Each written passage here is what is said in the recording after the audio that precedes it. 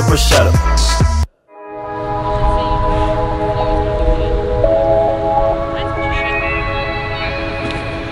Yo, what is up, 18 Austin Dunham. I'm back again with another video. So, I know you see the title. Today, we're gonna talk about why you probably suck at the handstand. So don't get offended by the title. I'm honestly just trying to help you out.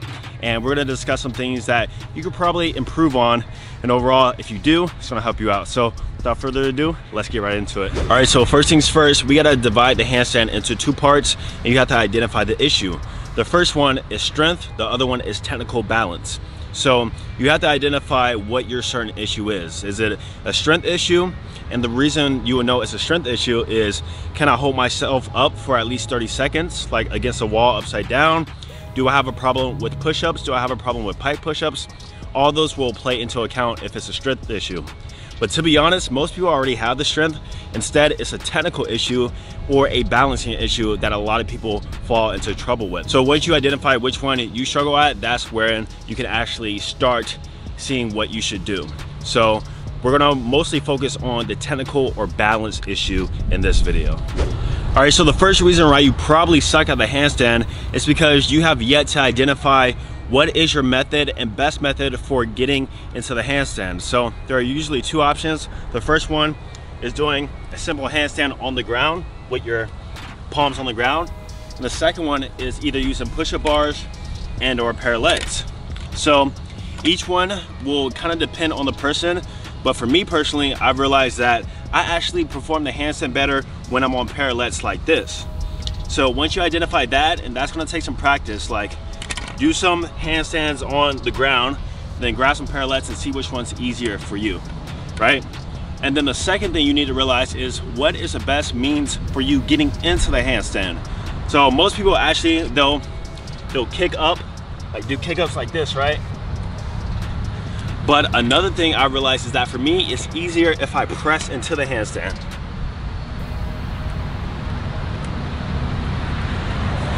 I have a way easier time balancing the handstand whenever I press into it instead of kicking up into it. So once you identify those two things, what is your means of balancing and what is your means of getting into it, that's when you can actually start practicing that style more and get even better at the handstand. All right, so with the handstand, besides just balancing, it's gonna be a lot easier if you don't have mobility restrictions. And that's another reason why you probably suck at it. So there are two mobility things you gotta keep in mind. The first one is your wrist. If you find yourself not able to, being able to bend your wrist at a 90 degree easily, like this, so just hold your arm, push your finger straight back. If that doesn't hit 90 degrees easily, then you're probably gonna struggle with the handstand uh, more than you should. And the second thing is shoulder mobility, overhead shoulder mobility, right?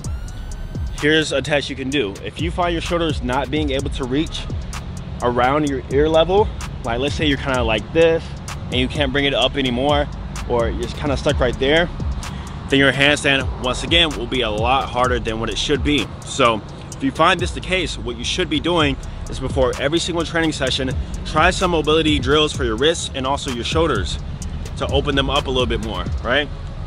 So you can do stretches like this to kind of open a bit more.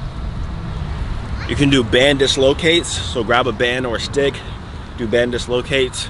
And honestly, the more you practice the handstand, the more mobile uh, you will be and the more your shoulders will open up.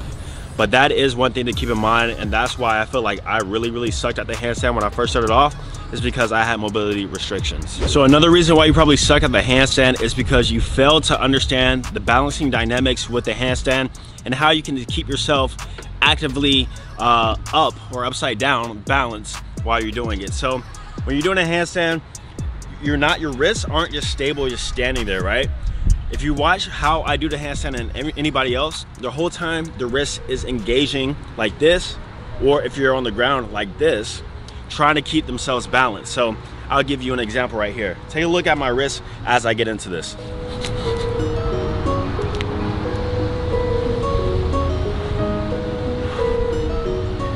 The whole time, my wrist is engaging, trying to keep myself balanced, right? Basically the whole time what that was going on, when I feel my body falling backwards this way, which is the way most people fall, you have to press really, really hard on your fingertips, or if you're on bars, you have to do this motion right here, like press forward, in order to keep your body from falling. Now, if you do the opposite way, if you fall more towards that way in a handstand, then you have to press hard on your palms, or if you're on parallel bars like this now, and basically constantly doing that will keep your body straight and in balance. Sometimes you're able to find just a, a awesome sweet spot to where you don't even have to do any of that, but most of the time your hands will be and your wrists will be moving the whole entire time. So keep that in mind. All right, so another reason why you probably suck at the handstand is because you just simply cannot get over your fear of being upside down and you keep using the wall to practice. Now, you know, the wall is a good place to definitely learn it and to be honest, get over your fear of being upside down. But after a while, the bird has to leave the nest and you gotta take flight and get over that fear of being upside down without the wall. And that's what I did. So once I got comfortable with being upside down on the wall, what I basically did was practice kick-ups the whole entire time. If you find yourself not being afraid to be upside down, start doing those kick-ups more often and actually take the time to practice before every single training session, right? The thing about the, the handstand is that it's so technical, but you do get better at it over time and the more you practice it, unlike some other strength skills like planche and front lever. The handstand is something that you can practice literally six, seven times a week without kind of overtraining your body. So get over your fear. If you're using the wall and you're comfortable with it, get off the wall, practice some kick-ups and practice it more often. All right guys, those were probably all the reasons why you probably suck at the handstand. Take all those into account and I promise you, your handstand is gonna get a lot, lot better. So don't forget to check out the resources down below, including the full workout programs to get strong with just your body weight subscribe if you're new, like, comment, and I'm gonna see you guys in the next video. Peace.